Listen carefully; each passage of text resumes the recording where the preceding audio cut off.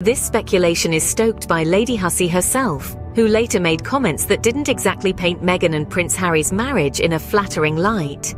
These remarks, coupled with the uncertainty of their initial interaction, create a fascinating puzzle.